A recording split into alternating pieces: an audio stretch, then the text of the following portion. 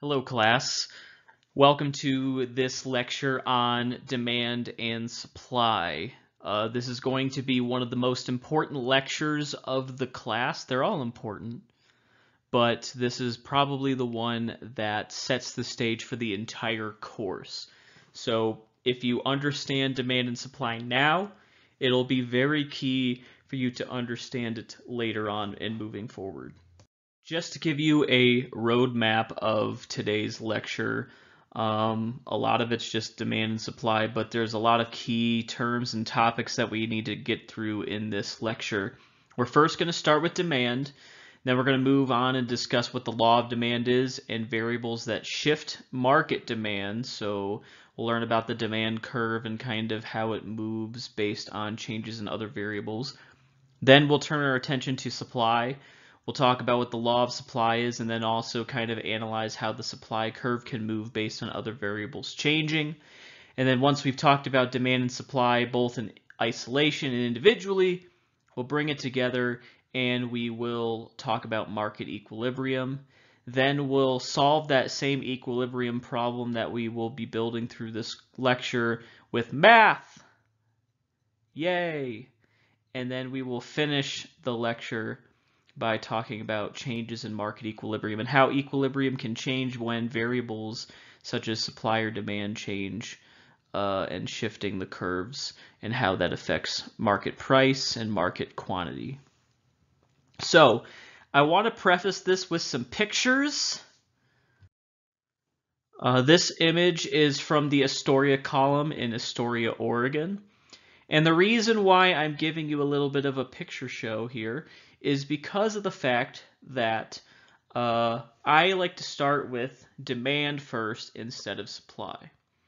There was an economist named Jean-Baptiste Say who said that supply creates its own demand, but if you've ever been in business before and been unsuccessful, you know that just creating inventory does not necessarily mean it's going to sell.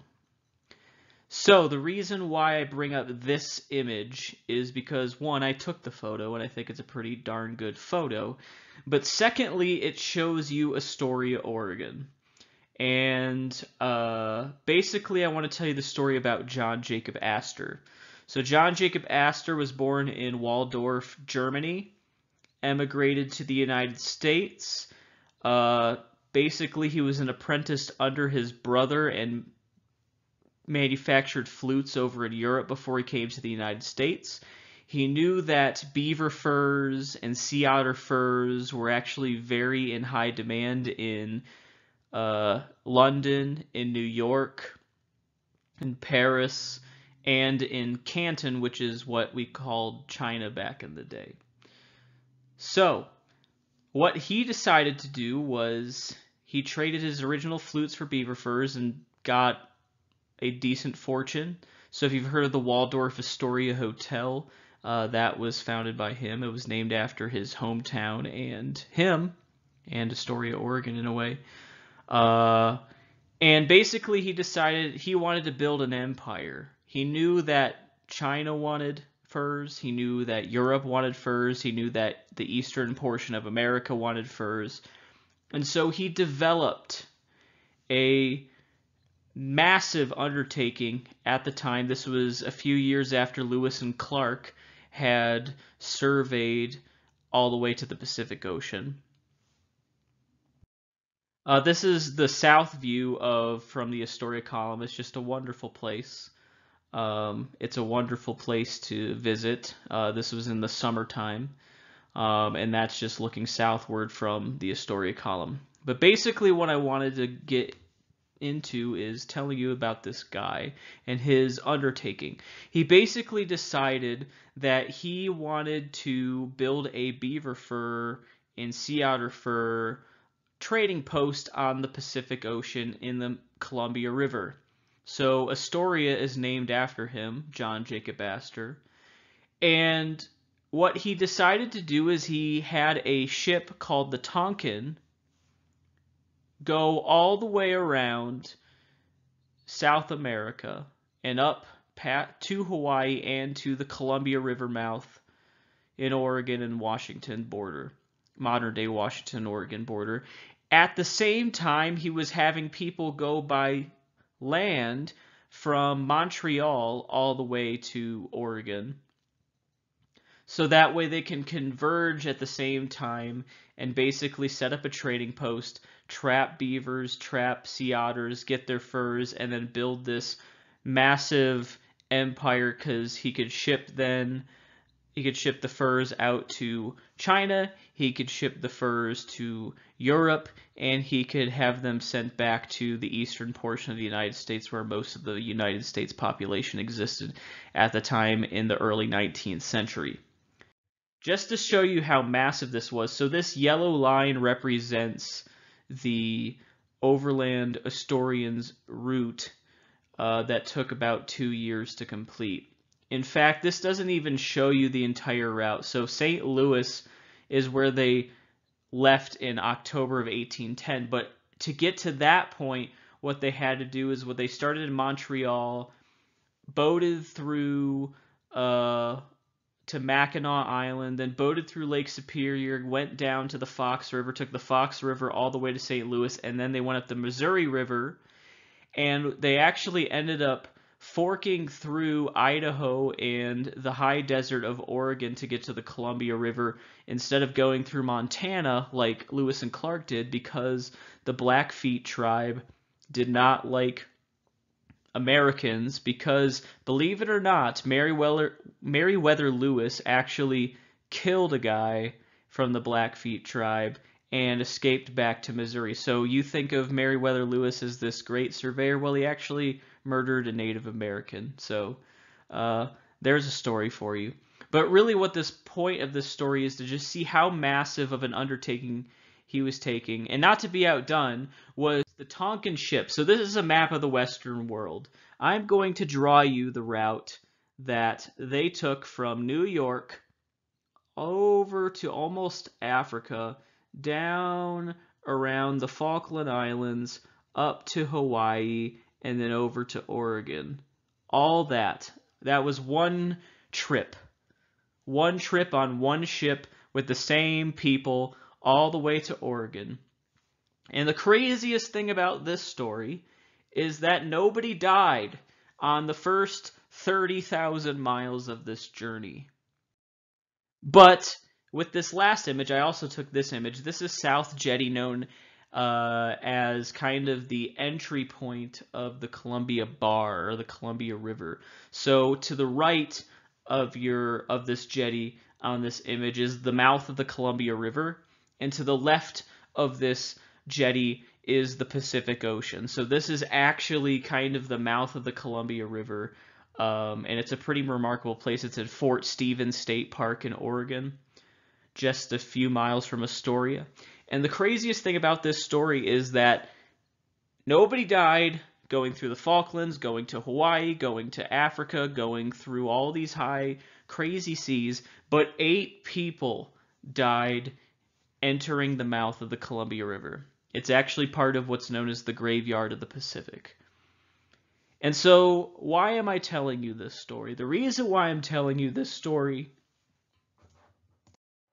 is because of the fact that I like to talk about demand first, then supply second. And the reason why I talk about demand first and supply second is that the reason why John Jacob Astor went under went and took this crazy journey and undertook this massive massive project to make a bunch of money and ended up resulting in a bunch of dead sailors in the process and is really because of the fact that he knew there was a demand for furs. There was a demand for furs, and that demand and the high price that he could get for that really convinced him that he should take this massive, massive risk to find the furs, access the furs, and create the supply that fulfills the demand. So if the demand is there, the supply will follow. As a result, that's why I like to start with demand and not supply. So on your textbook, you might have a chapter that says supply and demand or other textbooks, or you might just hear supply and demand. You might walk down the street and someone says, ask you about what economics is, and they'll just be like supply and demand. Well, I like to say demand and supply because demand, if it's there, then the supply will follow because the supplier needs to know that there's a reward for the risk that they're going to undertake. So, with that being said, hopefully you enjoyed some of the images and let's get into the meat of the lecture or the protein of the lecture. So we'll start with demand. Now, the important thing about this is to know that demand is the willingness and ability for a consumer to pay a price for a good or service. So there are two key characteristics there. There's willingness and then there's ability. So, willingness is just I am willing to pay this certain price, but you also need to be able to afford it. Because if you're a business owner and you do a focus group for a specific good or service and you don't actually have people there that are actually have the means to pay for that, then it doesn't matter. They're not truly part of the market because even if you offer the price that they say, that doesn't mean that they're actually going to buy it. Case in point, Let's say that the dream house that you've always wanted and the location that you want has been built to your exact specifications. Let's say it costs $3.5 million to make it and build it in the place you want to the exact specifications you want. If that person that built that house just sells it for say $350,000, well look at that. That's a great deal. You've saved essentially $3 million to get your dream home. But that only matters if you can actually afford it. If you can't afford it, then you're still not going to be considered a consumer or a requisite demander for that good or service, and you should not be considered. So demand is just the willingness and ability for a consumer to pay a price for a good or service. Quantity demanded is a very important distinction to make. It's a it's a key piece of what we're doing here, but it's distinctly different from what demand is. Demand is just the overall kind of encompassing that at various prices I'm willing to buy various quantities, and quantity demanded specifically focuses on the amount of that good or service that the consumer is willing and able to purchase at a specific price. The difference will be important and it'll be easier to understand when I show you what the demand curve is. But just for kind of a simple example, demand is the willingness and ability to buy a dozen eggs. So you're making a cake and you forget eggs at the grocery store, so you have to go back to the grocery store and you walk into the grocery store and you say to the greeter, Hello, greeter, I'm here to buy some eggs. That's demand. When you get to the actual dairy section, I don't know why eggs are in the dairy section, probably because there's a refrigerator there, but really dairy chicken it's a chicken egg it's protein it's not dairy it's not milk it's not butter they're different things but they're still in the same section. I don't know why because it's refrigerated i just answered my question but anyways i digress. When you get to that section quantity demanded is the fact that when you see the price that's listed for those eggs you decide how many dozen you're going to purchase. So maybe you think, oh, I'm going to make some omelets next week, or I'm going to make some more baked goods and I need more eggs than just the original one. I think this is a good price. So if it's 79 cents a dozen, you decide I'm specifically going to purchase three dozen eggs at 79 cents a dozen. Demand is just saying I was going to buy some eggs. Quantity demanded kind of gets to the nitty gritty and says how much am I going to buy at a specific price. There are three ways in which we can analyze demand. The first way is the demand schedule, which is just going to be a table that has two columns. One column represents the prices, and the other column represents the quantities demanded at those specific prices. So how many units are demanded by the entire market at a specific price for that good or service. We can take that data and plot it on a graph, just like we did with the production possibilities frontier from the production schedule in the last lecture, we can take those points, plot them on the graph, connect the dots, just like you did back in elementary school, and boom, you've got yourself a demand curve. And that demand curve is going to basically be where most of our analysis is going to occur. The third way in which we can analyze demand is mathematically through equations, and we will use that analysis when we talk about market equilibrium. So here's an example of a demand schedule. In the first column, we have price. So we have five different prices for televisions in this demand schedule. And the second column, we have quantity demanded. So this says how many televisions would be demanded at those corresponding prices in the first column.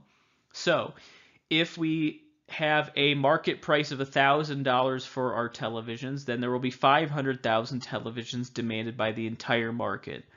If we lower the price to $800, then that quantity demanded increases to 1 million, and it will keep increasing as we lower the price. So 600 we have 1.5 million, $400 we have 2 million, and $200 we have 2.5 million.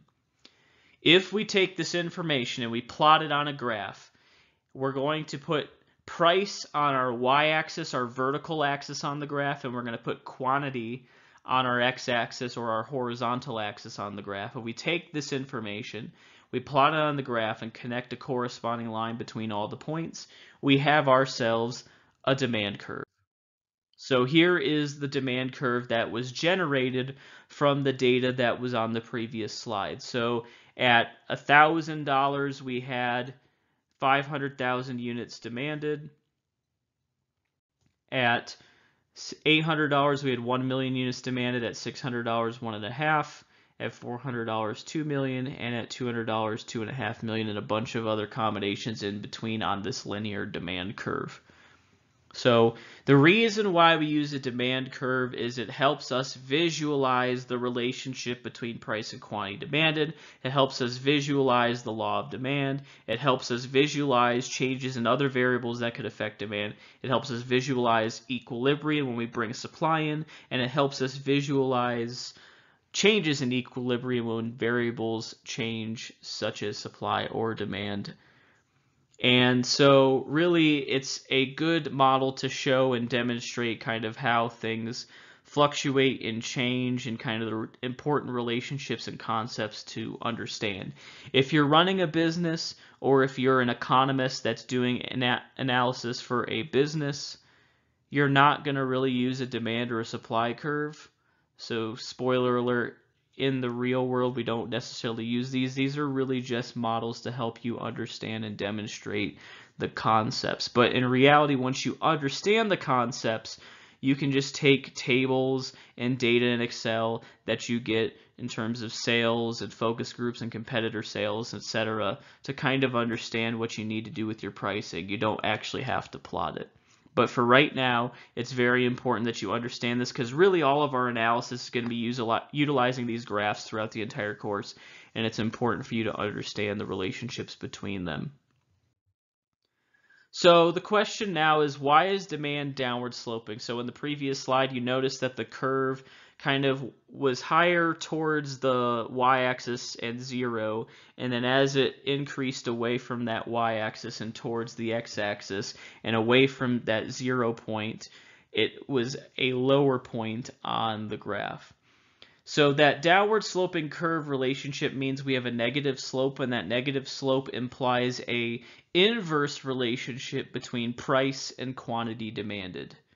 So that means as price goes up, quantity demanded, so a specific point, quantity demanded goes down.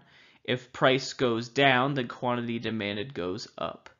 And this relationship is known as the law of demand.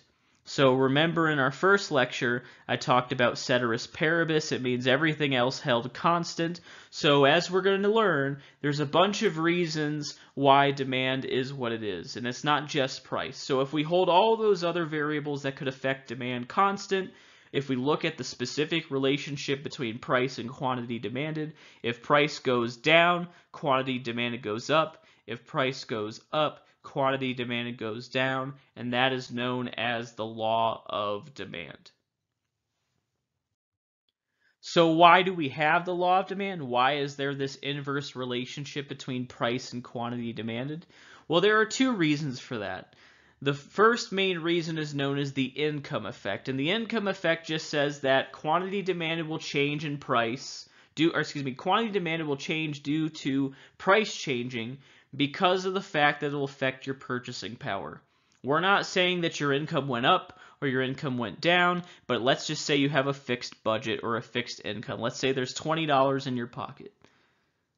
Because the price change, you can now purchase more of a good or less of a good because of its fluctuation repre representative or relative to your current budget of $20. So even though your income didn't change, it will, as we talk about variables that shift market demand, but since it hasn't changed currently, it's still affecting your quantity demanded because of the fact that you can either purchase more or less than before because the price changed. The second uh, reason for this is known as the substitution effect.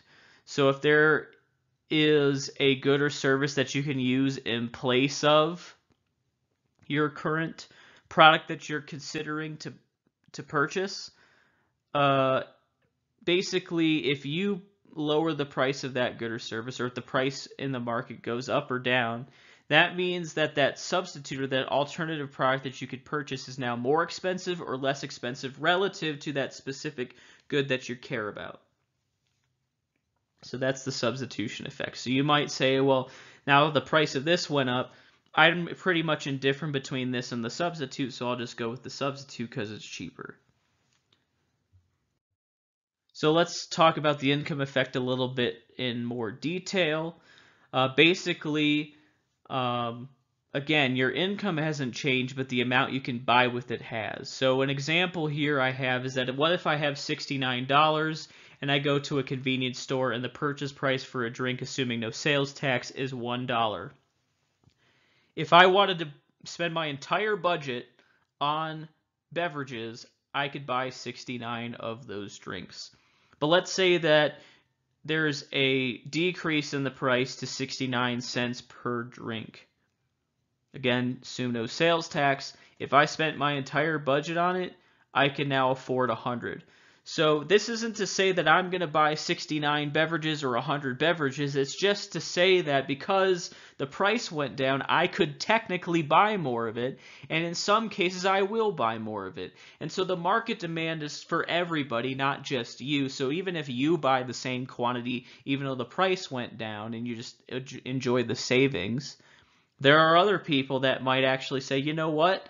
Now that 69 cents instead of a dollar, I'll buy two instead of one. One for my friend and one for me, or maybe one for the road and one for getting gas, whatever the reason. They're going to purchase more, and overall, that's going to result in an increase in the quantity demanded for the product. Turning our attention to the substitution effect. So this isn't to say that the price of the other good is is changing. It's just saying the price of this good is changing. So let's talk about the relationship between the iPhone and the Samsung Galaxy. They're both cell phones. They're both popular cell phones. And they're mainly the flagship phones that most people use these days if they have smartphones. So, if we're looking at market demand for the iPhone and the price of the iPhone goes up, that means that the Samsung Galaxy is now cheaper relative to the iPhone. And for individuals who don't really know how to use the phone in either case, they might just say, well, you know what? Since the iPhone is more expensive, I'm just going to get the Galaxy anyway instead of the iPhone, and that results in a decrease in the quantity demanded of the product. And vice versa, if the iPhone price is lower and the Galaxy price is constant, then some people who are indifferent between the two might say, you know what, I guess I'll get the iPhone because it saves me a little, a little bit of money. So that's the substitution effect. Now the question is, is price the only determinant of demand? Uh, is it the only reason why we purchase products? Well, I spoiled it a little bit earlier, but essentially, no. Uh, we pay different prices for different goods and services. We uh, have different preferences for different goods and services. And so price is not the only reason why we purchase certain products. The trick, though, is that when we want to analyze the relationship between another variable that might affect our uh, demand for a specific good or service, our graph has only got two variables on it. It's got quantity and it's got price. And so if we change anything that is related to demand for that specific good or service that we're measuring, such as televisions in our example in this lecture, we're going to have to do something with that demand curve. It's going to have to be a little bit different because we're not measuring income. We're not measuring prices of substitute goods. We're not measuring whether we like something or not. We're not measuring how the price might change in the future. We're not measuring how many people actually need that product. Those are the variables that also affect demand just as much as price, but we don't have it on the graph, so we have to visualize it by shifting the entire curve.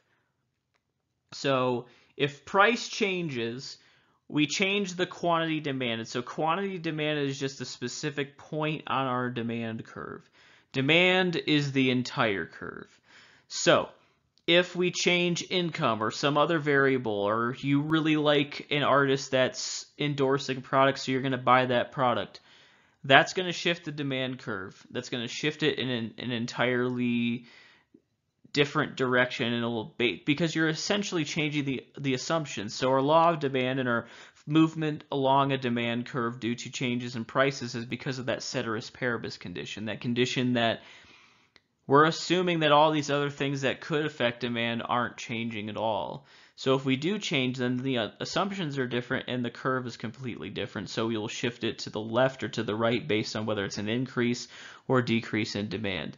So if it's an increase in demand, we're going to shift the curve to the right. And if we decrease demand, we're going to shift the curve to the left.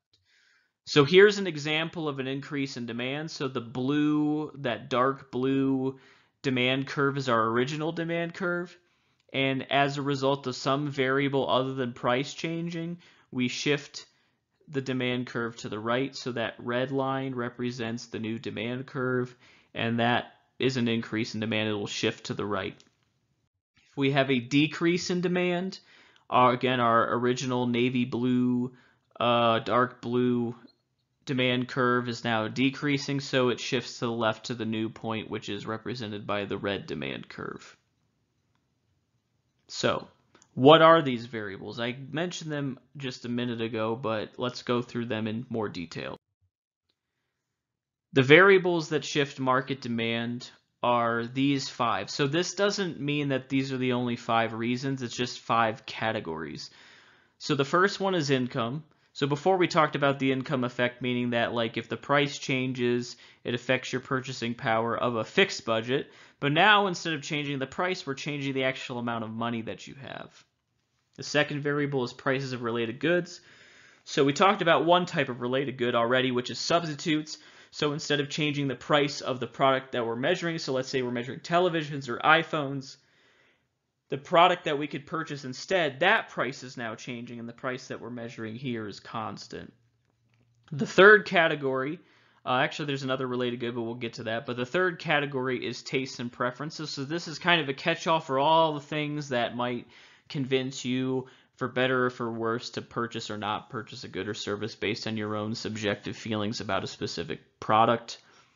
The fourth category is populations, so kind of inflows or outflows of specific relevant populations to your product might affect the demand for that product.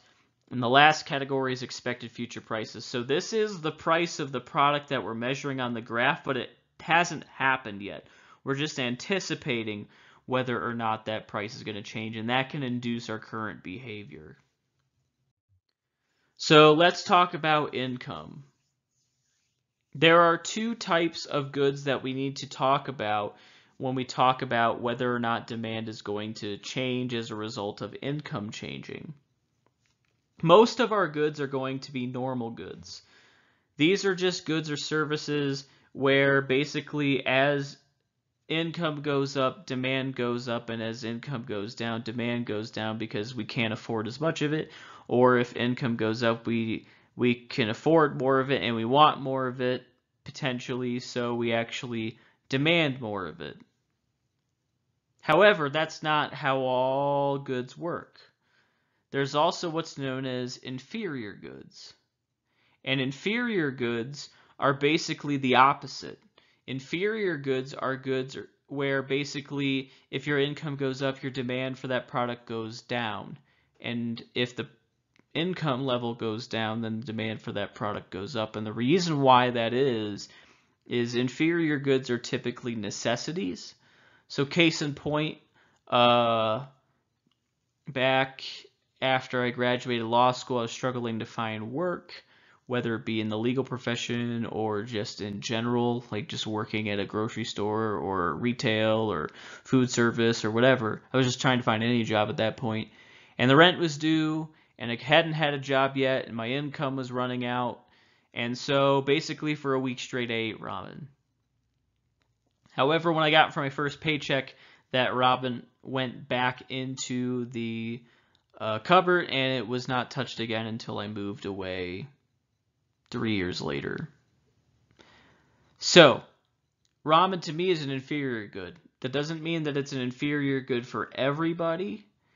So again, it's market demand, so it's the prevailing feeling of the market that determines whether or not something's a normal good or inferior good. My college roommate loved ramen. I called him up after he got his first big job, asked him if he was still eating ramen. He's like, Of course I'm still eating ramen. I love ramen. Uh, back in the days in the dorm room, we would uh, probably not the best for us, but we just had a microwave. We didn't have a kitchen, so basically we would crunch up the ramen, put it in a red solo cup, fill it up with water, microwave it. Hopefully that softened the noodles up. For me, I would add the salt packet. For him, he would add sriracha, and that was his go-to snack. But so for him, subjectively, it was inferior, but for the prevailing market, ramen tends to be an inferior good. The next category, so this is the second major category, is prices of related goods. We've already talked about substitutes. Basically, if the, if we're measuring the market for iPhones and the price of the Galaxy goes up now, again, we're not talking about the price of the iPhone. The price of the iPhone is constant. So if the price of the iPhone changed, we would move along that given demand curve. But that original demand curve is operating under the assumption that, say, the Samsung Galaxy is only being sold for $800. But let's say that the price of the Galaxy now is being sold for $900. If it's now being sold for $900, then that means that the assumption has to change. And what's going to be the consequence of that? Well, some people are going to be like, well, the Galaxy is now too expensive, so I'll just get the iPhone instead because its price has re remained constant. So as a result, there would be an increase in demand for an iPhone, and we would actually have a shift to the right of our demand curve. Alternatively, if the price of the Galaxy goes down, maybe there's a sale at Best Buy or on Amazon or some other website or through Samsung itself and the price is say 650 then that would change the underlying assumption because a lot of people might decide you know what I think it's worth it to get that lower price so they end up decreasing their demand for iPhones and increasing their demand for Galaxies. However, that's not the only related good that we could have. It's not the only relationship we can have between two products. We also have complementary relationships. So these are goods and services that are typically purchased and used together. So the reason why this is important is because of the fact that if we're purchasing them together, then we need to take into account the cost of them both together. So say a video game console and an additional controller or a hard drive associated with it. That's the total cost of the bundle. And so if the total cost of that whole bundle is more expensive than you're willing to pay, you might not get any of it. So complements could be like peanut butter and jelly, spaghetti and meatballs, macaroni and cheese, etc., etc. But uh, the way I like to use an example is uh, I like to make baked ziti. I learned how to make it at one of my jobs in college, and I love it. I don't make it that often because it's expensive to make at home. So, when I go to the grocery store and I decide, hey, I'm going to make some baked ziti, you first go get the ziti noodles, and that's like a buck, and then you get the sauce, and that's not too expensive. If you want to add a little bit of meat to it, you can, but I don't usually. But really, the most expensive uh, component of the ziti is the cheese. Just like if you have a pizza, the cheese is the most expensive component. Well, you need ricotta cheese, and I like to put mozzarella on top, sometimes pepper jack if I want a little spice in my life. But essentially I'll go to there and I'll discover that the cheese is really expensive and then instead of just having ziti noodles with pasta sauce and maybe a little bit of ground beef, I just don't eat any of or I don't purchase any of it. I abandon the shopping cart and I leave. Because since the price of the complementary goods to the baked ziti noodles was too high, I ended up getting neither. So if you decide you want a peanut butter and jelly sandwich, you need you get the bread, cool, you get the peanut butter, cool, but the jelly is too expensive.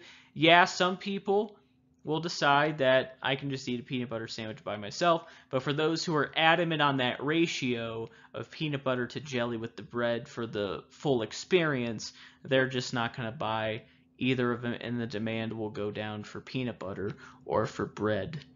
So, if the price of a complementary good goes up, the demand for the product that you're actually considering goes down because some people will not buy them the other product at all because they're essentially worthless without each other in the eyes of the consumer.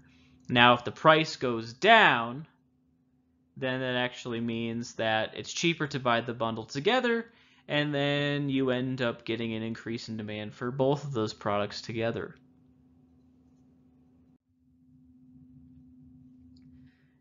So those first two are kind of the ones that involve the most thought because you have to understand is it a complement, is it a substitute, are they related at all?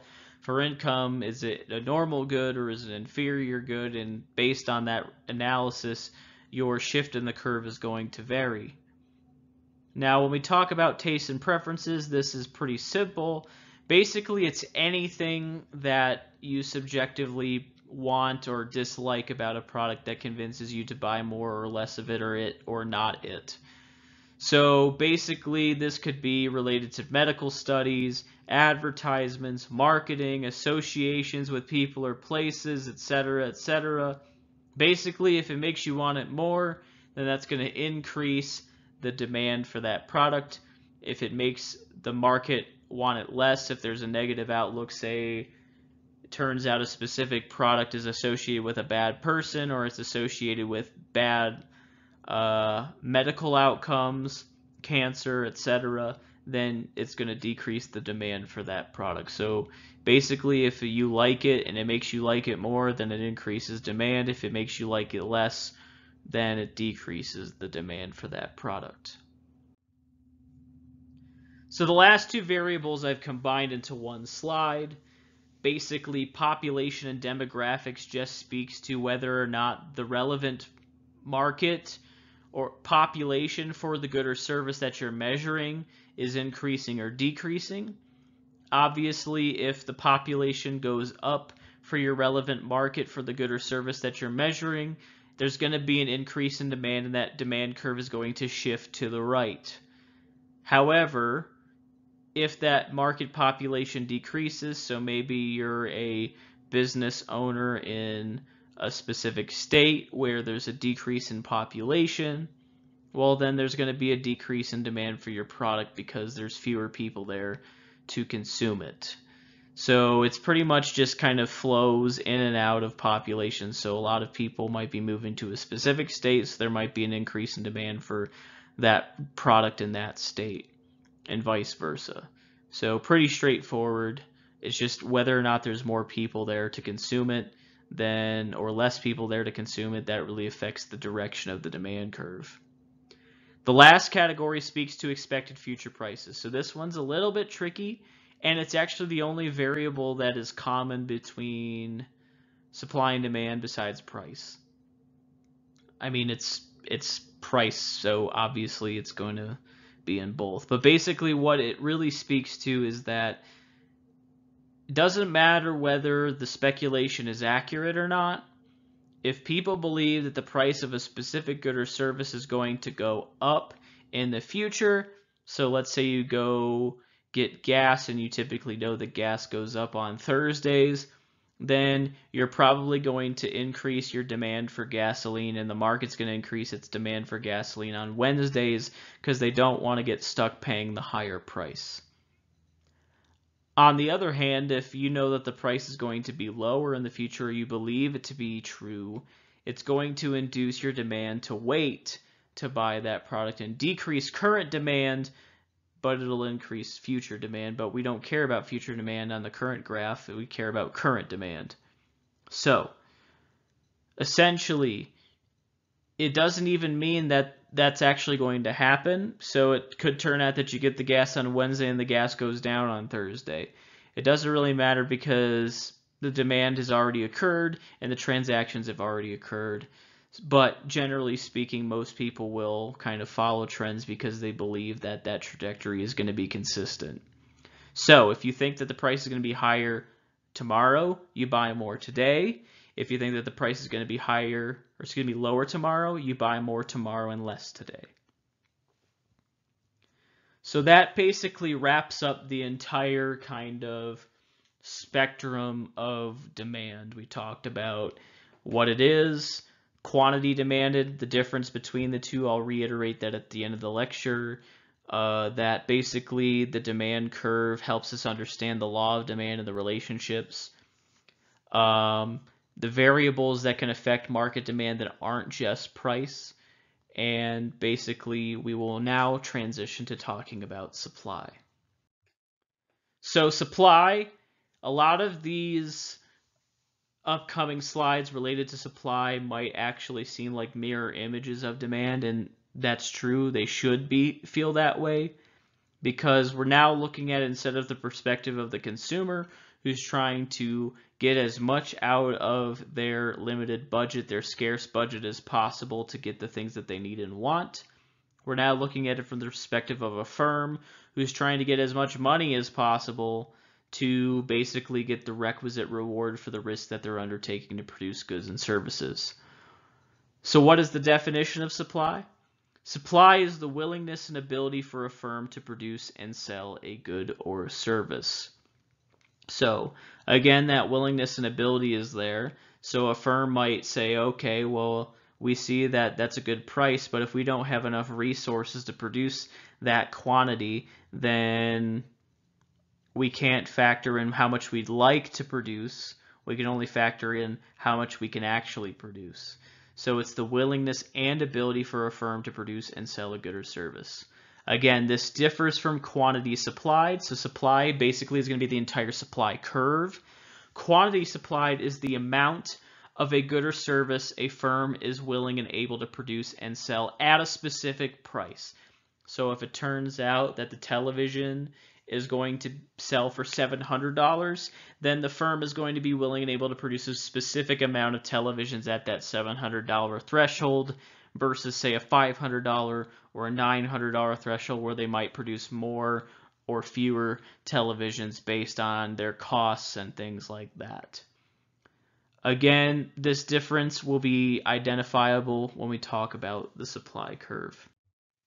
Again, just like before, we can analyze supply in three ways. Supply schedule is a table, supply curve will be a graph, and when we talk about market equilibrium, we will have an equation that represents supply for that market, and we can use math to solve the same equilibrium problem that we could do graphically when we get to talking about equilibrium.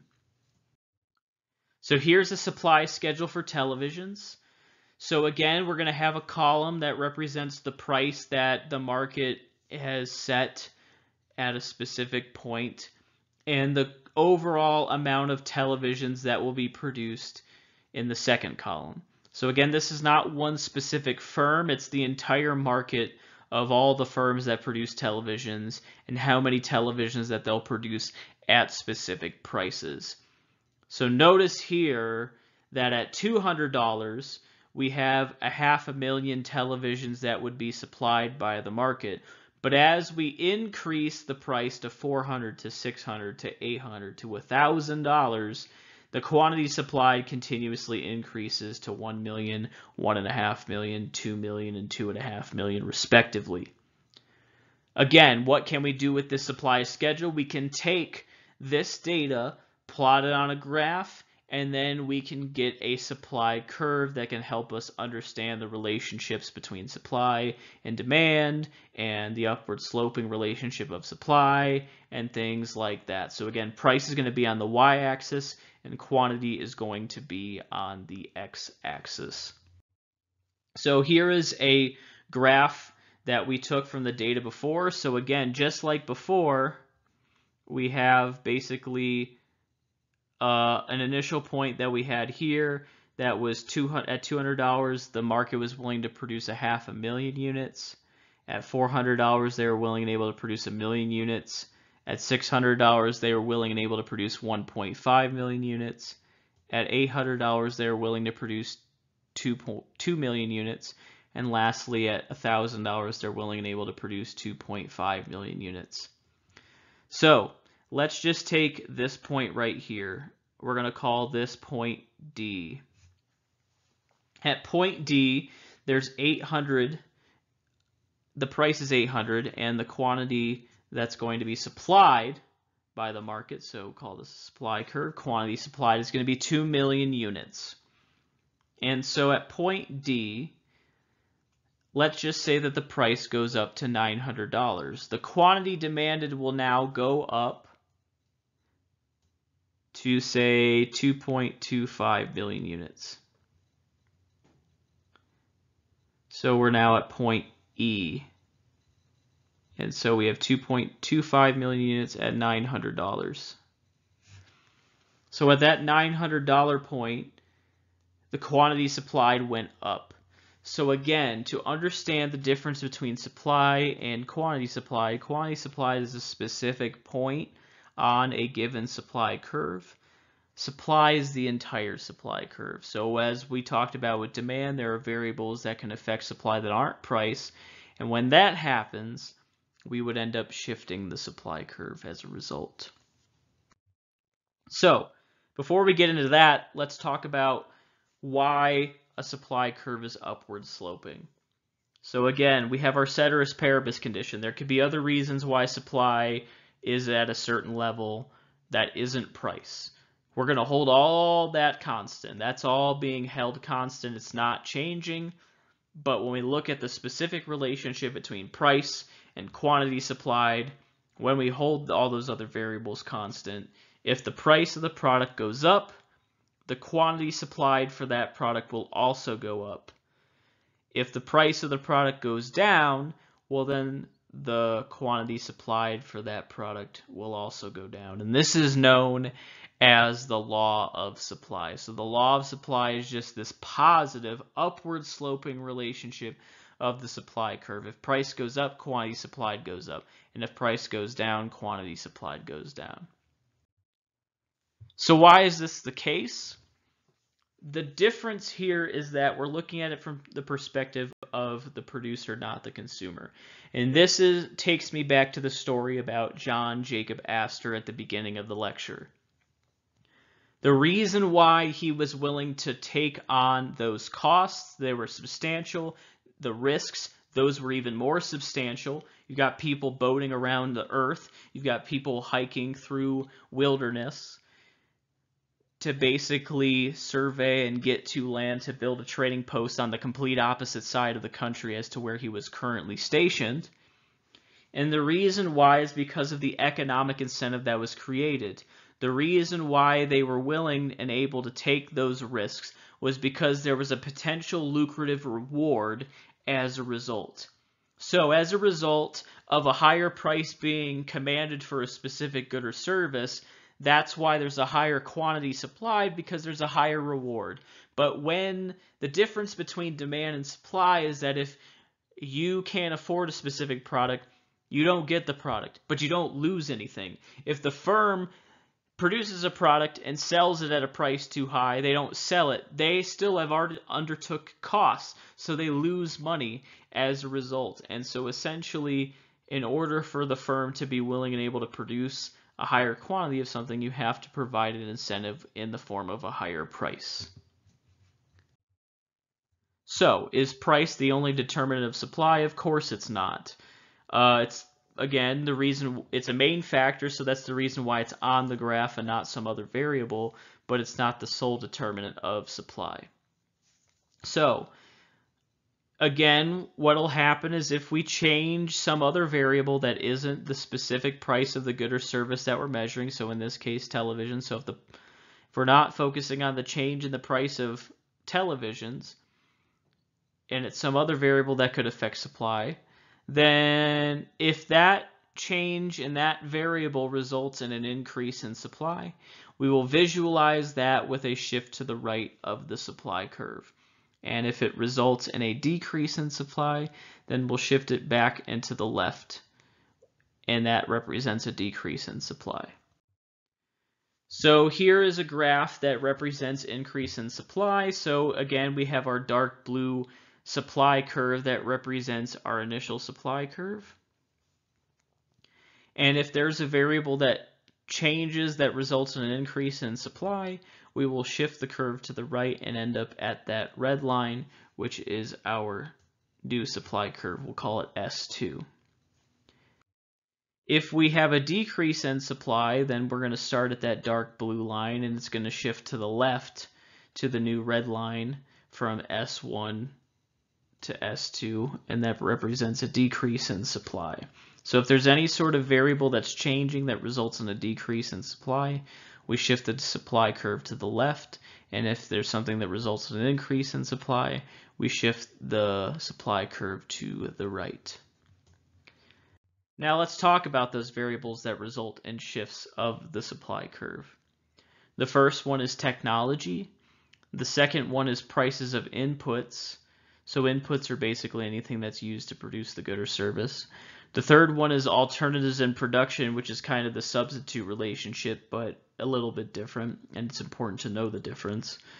Number of firms, so how many people, or excuse me, how many firms are actually producing the good or service. And then lastly, expected future prices, but instead of it being like with demand, it's the same variable, but it's going to be from the perspective of the producer and not the consumer. So technology is important. Last lecture we talked about how technology is important in terms of production possibilities frontier. If we increase in technology, we shifted the uh, production possibilities frontier out and to the right. And the same will happen for supply. If it turns out that we've come up with some technological innovation or advancement that allows for more efficient production of that good or service, that will result in us being able to produce more at potentially a lower cost or at a smaller amount of time. And as a result, there would be an increase in the supply of that good or service. And just like with the PPF where that shifted out into the right, the supply curve will also shift out into the right because we can produce things more efficiently with our scarce resources. So a lot of textbooks talk about only about the uh, positive aspects of technological advancement, but there are going to be situations in which there's going to be interferences with the production process. A machine goes down, there's a malfunction, there's a natural disaster. So back in 2011, iPad production got stymied because of a massive hurricane and earthquake tsunami in Japan uh, in 2011. And it wasn't as a result of technological advancement or going backwards or going into the dark ages. It's really just there's interferences with your production process that decrease your current level of supply. So if that happens, then we would represent that by a shift to the left of the supply curve and a decrease in supply. Our second variable speaks to cost. So the big difference between firms and consumers is that they're producing the product and incurring cost up front. A consumer doesn't really incur cost until it's made. And that's why you buy it. But essentially what's going on here is that a lot of firms have specific budgets or they if they incur additional costs they might not be able to pass it on the consumer right away. And if you take a macroeconomics course, this is something that's known as menu costs that uh, firms are might be reluctant to change prices because they don't want to lose consumers. So, if there is a increase in the price of an input, so again, an input is anything like raw materials, labor, capital, etc., any of those factors of production that we talked about in last lecture, if any of those increase in cost, then that's going to result in an increase in the production cost of the good or service that you're making. And as a result, whether you have a fixed budget or you don't want to upset your consumers and you can't change your price right away, that's going to result in a decrease in the supply of a product. So if it's more expensive for them to produce it, they're going to produce less of it. Simple as that. Now, if there's a decrease in the price of an input, well, then that means that they can afford more of those raw materials with a constant budget or a similar budget. And as a result, that's going to result in an increase in the supply of the product, and we're going to have a shift to the right of the supply curve. So higher costs, lower supply, lower costs, higher supply for the firm. This third category specifically speaks to a firm that could produce different products with similar resources. So if you think back to the production possibilities frontier last lecture, we can kind of think about Ford and how they could kind of produce hybrid cars or trucks with similar resources. Obviously, they don't can't really necessarily use like the batteries from the hybrids for the trucks, but the other materials, the aluminum, the steering wheels, the tires, etc., they can use that to assemble vehicles with similar resources. The reality is, is that the firm's in the the firm's best interest is to make as much money as possible. So what they're going to do is they're going to divert those resources or devote those resources to the products that yield them more money. So if we're looking at the market for televisions and we have a firm that could either produce televisions or computer monitors and because of the a surge in uh, influencers recording videos on their computer and live streamers or esports or things of that nature. Maybe there's a higher demand for computer monitors over televisions and they can use those similar displays and materials to produce computer monitors instead of televisions. And so if it turns out that the computer monitors make more money than the televisions, then the firm is going to devote those resources that they could have originally used for televisions into producing computer monitors. So they're going to divert resources away and they're going to supply less televisions to the market. So if this happens, that means that the firm could either produce televisions or computer monitors and they realize that the computer monitor makes some more money, they're going to decrease the supply and have a shift to the left of the supply curve for televisions uh, to help kind of produce the level of computer monitors that they want and make more money. Now, if it turns out to be the opposite, that basically televisions are in higher demand than computer monitors, mainly because a lot of people just use laptops these days. They don't really care about having a computer monitor and they'd rather have a large television for video game consoles or for watching sporting events or etc. and movies, then that firm will devote those resources now to producing the televisions instead of the computer monitors, and so we'd actually have an increase in supply for the televisions. So Basically, this just says that if the product that they can make instead makes them more money, then they'll decrease the supply of the product that you're measuring. And if the product that you're measuring makes them more money than the alternative products that they could make, then that'll increase the supply for your project because they're going to devote more resources to it. I've put the last two variables on one slide as, again, just like I did with the last two variables that could affect market demand. For supply here, we have number of firms. It's Kind of just like with populations, if the number of companies making the product increases, that's going to influx more product into the market and result in an increase in supply, which will be represented by a shift to the right of the supply curve. If there's a decrease in the number of firms that are available, in the market, then so say maybe some of the uh, companies went out of business, the television companies went out of business, then there's going to be less stock available, so there's going to be a decrease in supply as a result, and we would shift the supply curve to the left. Expected future prices is now from the perspective of firms and not consumers. So firms are trying to get as much money for their product as possible, and consumers are trying to get as less or get the product for as less money as possible or as, eh, for the lowest amount of money as possible. So in this perspective, now what's going to happen is if the firm believes that the product of the good or service is going to be higher in the future, then what they're going to do is they're going to not make product available and they're going to withhold their supply and decrease their current supply available until that newer higher price is in the market and then at that point then they'll make it available. So don't think about this so much from the perspective of oh well a firm knows they're going to make more money in the future so they're going to ramp up production now. They might be doing that behind the scenes, but the market again, remember markets are institutions where the buyers and sellers come together to trade. So me working at my job and getting income and the firm producing product is kind of just the behind the scenes stuff. What really matters is the product that's finished and the amount of money that I take to the market in that product market to figure out whether or not a transaction occurs that matters. And the graph of supply and demand is actually measuring the market analysis, not so much the production analysis behind the scenes. So if the firm believes that they're going to make more money in the future, they're going to cut their current supply right now and decrease supply, and that'll be represented by a shift to the left of the supply curve.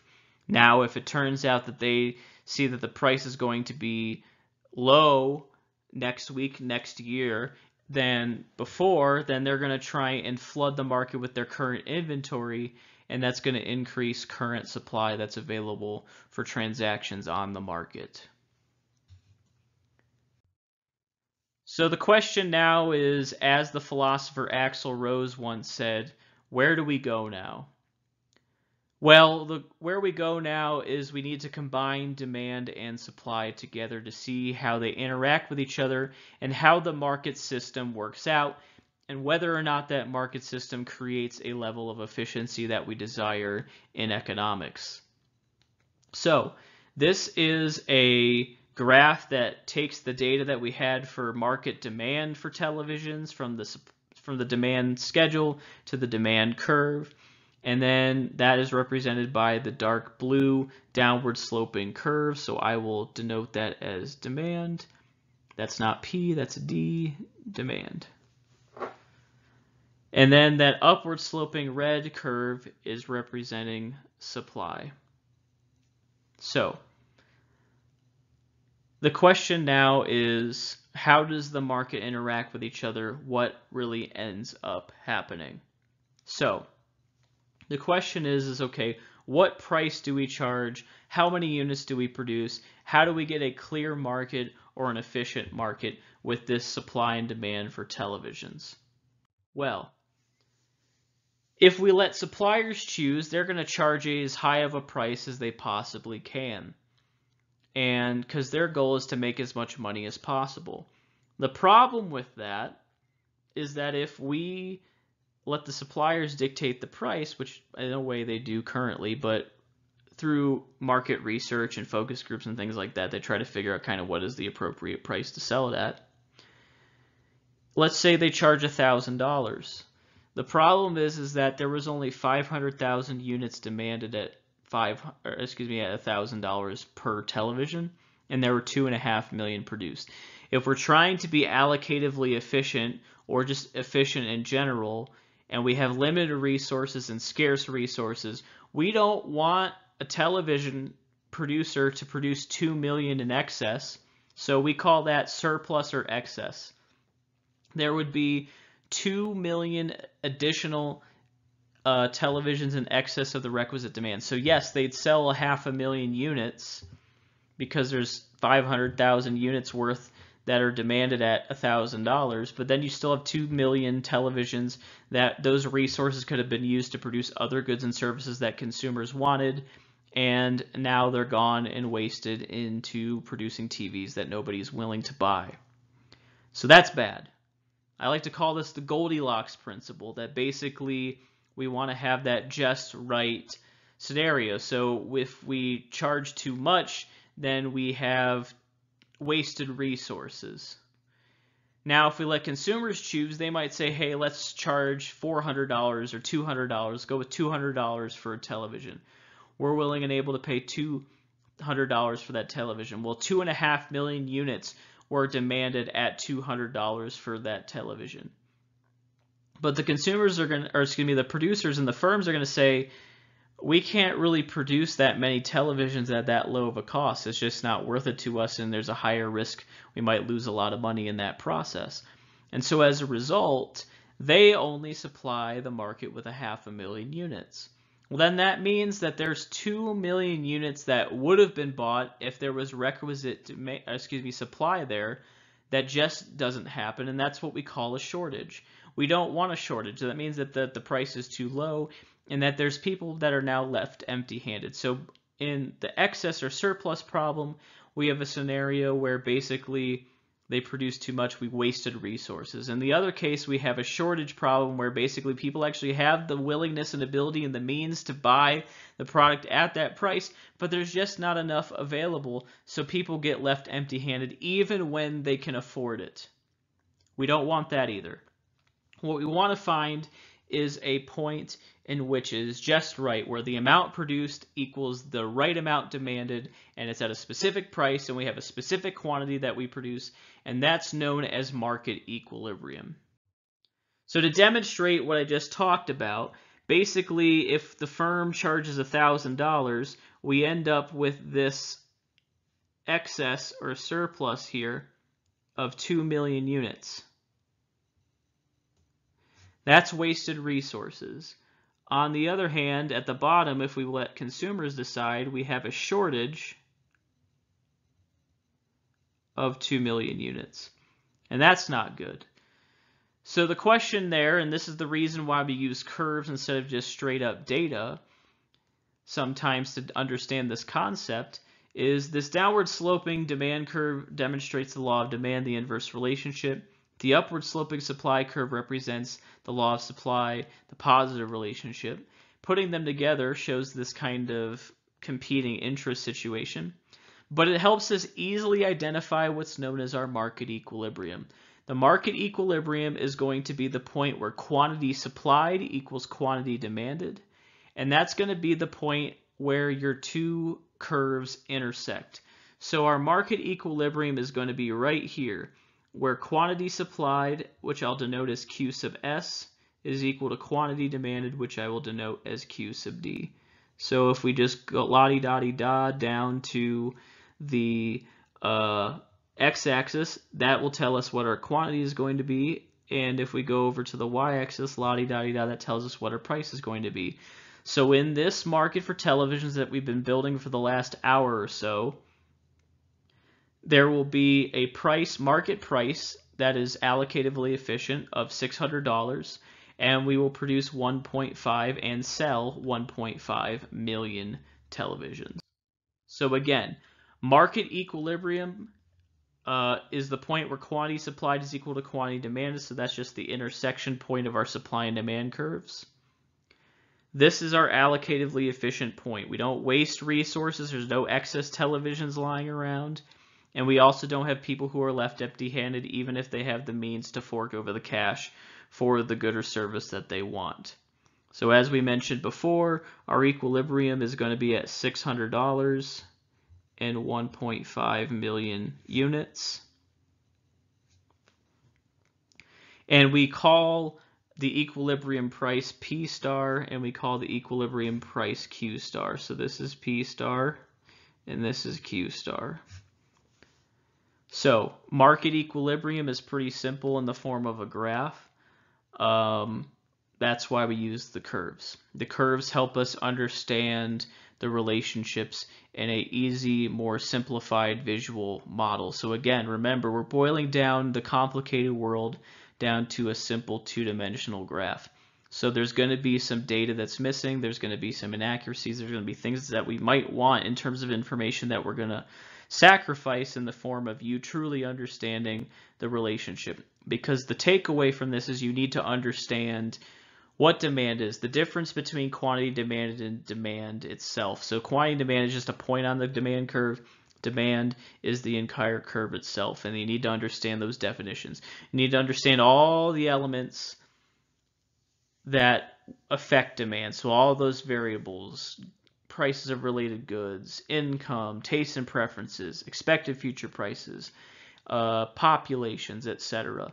You need to understand the reason for the law of demand, so the income effect and the substitution effect. For supply, you need to understand truly what it is, why there's an upward sloping relationship, and that really goes back to that John Jacob Astor story about uh, risk uh, and reward. That basically, the higher the reward, the higher the risk. And that's why they're willing to produce more and take on higher costs if they know that there's going to be a higher reward at the end of the tunnel. And that's what John Jacob Astor did. He he sacrificed men's lives and risked them and uh, spent year had an army of men go across America by land and by sea to try and develop a worldwide trading post and trading organization so he could maximize.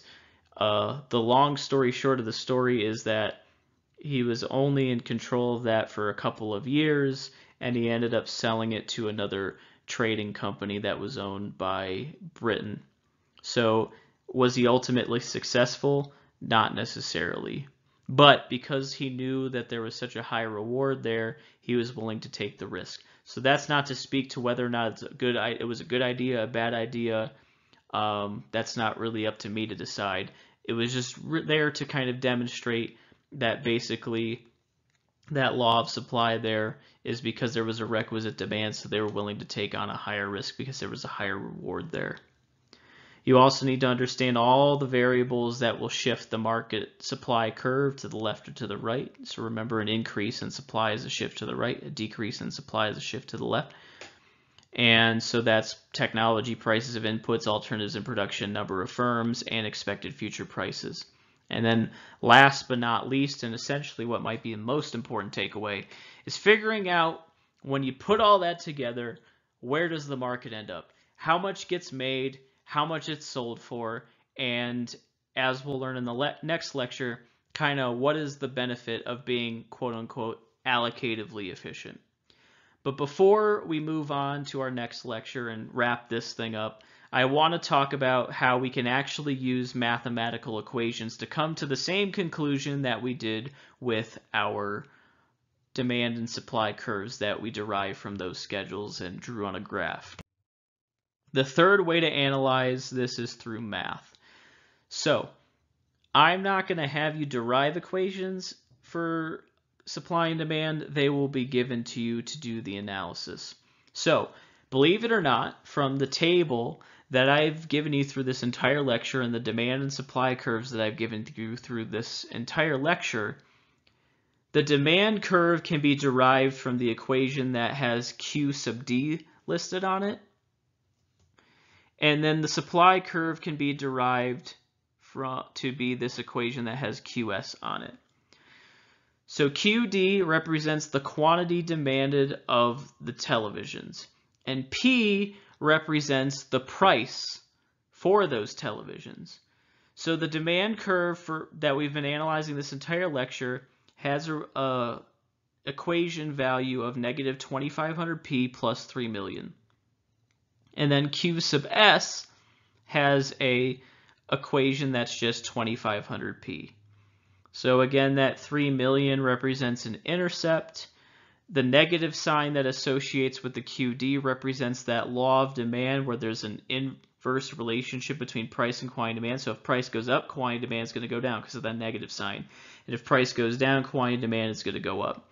Q sub S has no has an intercept at zero. That's the reason why there's no plus or minus attached to it beyond the 2500p. Again, that 2500 for both represents the slope of the supply and demand curves respectively. And again, Uh, the reason why there's no negative sign there for the QS equation is because there's a positive relationship between price and quantity supplied. So as price goes up, quantity supplied is going to increase. So the reason why I like equations is it gives you a lot more information because the curve gives you a decent amount of information, but you're kind of at the whim of the axes drawn and kind of the the numbers that are labeled on that graph and the scale that's used. If you use a table, you're limited to the only to those only five listed values. We had five prices and five quantities demanded. The cool thing about using the equations is that you now have the ability to solve essentially any quantity and any price. So if you want to find out what the quantity demanded at $412.07 is, bam, plug in 412.07 into P and solve for Q and you have your answer. If you want to figure out what the quantity supplied is at $907.15, bam, plug in 907.15 into the price equation and that or the price value on that QS equation and bam, you've got the quantity supplied at that point. If you want to find market equilibrium, so the question then becomes like how do we solve the problem? How do we figure out what level of production uh, is going to be produced and what price it's going to be sold at to pr to provide our allocatively efficient solution and our market equilibrium. All you have to do is plug those equations into each other because even though Q, quantity demanded and quantity supplied are different numbers, when you hit market equilibrium, they're going to be the same. So if QD and QS are the same in market equilibrium, then that means that you just set 2500p for the QS equation equal to the negative 2500p plus 3 million for the demand equation. Set those equal to each other, and then you want to solve for your equilibrium price. And that will be your P star. So what you'll do is you'll solve the equation, you'll get a P that's equal to a specific number. That'll be your P star. That'll be your market equilibrium price. Once you have that, then you can plug that original p value into both equations and you'll get the same answer for q, which will be your equilibrium quantity. We solved with the graph because fortunately we were able to see it easily that the quantity at market equilibrium is going to be 1.5 million units and that the equilibrium price is going to be $600. So we can use that information to confirm that what we found in the graph was accurate. So if we plug in 2500p equal to negative 2500p plus 3 million, we will take the we will add 2500p to both sides. So that cancels that out. We add the 2500p over here, and that gives us 5000p is equal to 3 billion. If we just divide both sides by 500, excuse me, 5000, that cancels out. And then we can just cancel out bam, bam, bam, those three zeros. And then it's just 3,000 divided by 5, which is 600. So our equilibrium price is $600 just like we found with the graph. If we take that $600 value, that P star value, and plug it back into our original equations, so we have 20 for QS we had 2500 times 600, and then for QD we have 2500 times excuse me negative 2500 times 600 plus 3 million. Both of those will give you the answer of 1.5 million dollars. So it's just a little bit of algebra. I trust that you can handle that um, because you're all capable of doing algebra and and completing these math problems. And I think it gives you more information and it helps you basically analyze things at a deeper level you don't necessarily need a graph to analyze it. You don't necessarily need those demand curves and those supply curves. So this gives you another way to solve that same problem just with some simple equations. So I will finish this lecture by talking about what happens if those variables that we talked about, so such as demand changing or supply changing, when we're trying to figure out what equilibrium is. So we found equilibrium. It was $600 and 1.5 million units. But what happens if demand changes or supply changes, well, equilibrium is going to be different because that original equilibrium was operating under the assumption that we were using an initial demand curve and an initial supply curve. If supply changes, then that means that we now have to intersect that demand original demand curve with the new supply curve, and that's going to give us a new equilibrium price and a new equilibrium quantity. Now, without equations and a bunch of mess, you're not going to be able to pinpoint a specific new dollar value and a specific new quantity. But you can figure out when that variable shifts, whether or not the new equilibrium price is going to be higher or lower, and whether or not the new equilibrium quantity is going to be higher or lower. So let's say that televisions are a normal good, which they are, if there's an increase in our income, then that means that if there's an increase in income for a normal good, that results in an increase in demand for televisions.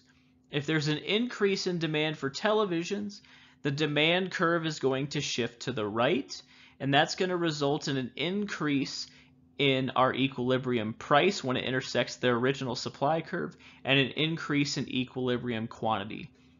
Vice versa, let's say that television has been linked to bad vision and people don't want bad vision. So what they decide is they don't want televisions anymore. If there's a decrease in demand because of a negative taste and a preference, then that's going to result in a shift to the left of the demand curve, a decrease in demand, and that's going to result in a decrease in equilibrium price and a decrease in equilibrium quantity. Now, if we turn our attention to supply, let's say that uh, there's a new innovation in the production of televisions. There's a new piece of equipment that allows for it to be more easily produced. Well, then that's going to result in an increase in supply, and the supply curve is going to shift to the right. When we shift the supply curve to the right, that results in a decrease in equilibrium price and an increase in equilibrium quantity. Pretty sweet deal. Unfortunately, if there's a situation where basically the costs of the materials, the chips, the LED lights, the glass for the screen, if those inputs go up in cost, that's going to overall increase the cost of production for the firm, and that's going to result in a decrease in supply for that good or service, which is going to result in an increase in equilibrium price and a decrease in equilibrium quantity. To demonstrate this, let's go with our original example of uh, income going up for households so we'll label this our supply curve and label this our demand curve. If there's an increase in income and we have a normal good, then that's going to result in a shift to the right of the demand curve, an increase in demand to D2. This was our original equilibrium, but that no longer is relevant because our assumptions have changed and we have a new demand curve. So our new equilibrium is going to be right here. Now, because I conveniently intersected it there, we can actually determine that the equilibrium price is now $800 instead of 600 and our equilibrium quantity is now 2 million units. But, as I mentioned before, 800 is higher than 600, so our equilibrium price went up. But our equilibrium quantity also went up as well. So we have an increase in price and an increase in quantity. Now let's say that uh, our supply curve shifts to the left. It decreases because of that increase in cost of production of televisions. So we shift to the left. Remember, we're now operating at D2 and S2 because remember our demand shifted so we're now operating on our second demand curve and now that supply changed we're operating on our second supply curve. So that means our new equilibrium is going to be right here. We can't exactly determine what our exact price is going to be at that point, but compared to our price of $800, our price is definitely going to be higher. So as a result of that decrease in supply, we have an increase in price And we also have definitely less than 2 million units, so we have a decrease in our quantity. So as a result of a decrease in supply, we have an increase in price at equilibrium and a decrease in quantity at equilibrium. And when we had that increase in demand, we had an increase in price and an increase in quantity at equilibrium. That concludes this lecture on demand and supply. Again, I highly recommend that if you feel like I went a little bit too fast or you didn't catch some of the information to listen through the lecture again, please contact me with any questions. Uh, make sure that you are thorough in your analysis when you're doing homeworks, quizzes, and exams. And I look forward to discussing and developing this model further through the course because we really are going to spend essentially the rest of the course talking about this model within the context of individuals, within the context of businesses. And in our next lecture, we'll talk about kind of that allocative equilibrium point. Is that truly the best point? How do we demonstrate that? How do we measure that? And then when we talk about a relationship and a disconnect between efficiency and equity, what can the government do to intervene to try and promote equity over efficiency. So good luck on your assignments in this class and any other classes, and I look forward to discussing our further topics in the next lecture.